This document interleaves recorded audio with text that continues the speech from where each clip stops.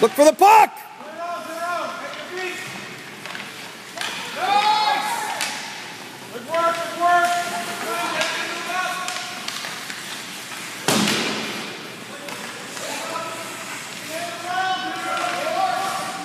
Skate, skate!